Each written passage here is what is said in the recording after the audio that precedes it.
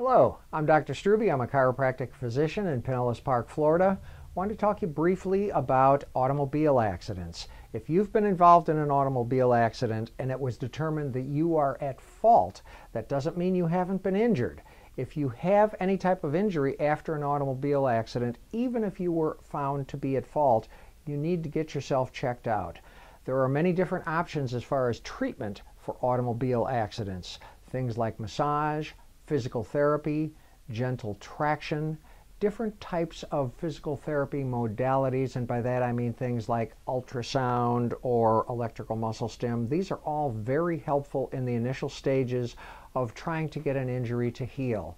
So if you've been involved in an automobile accident and you were at fault, you still need care.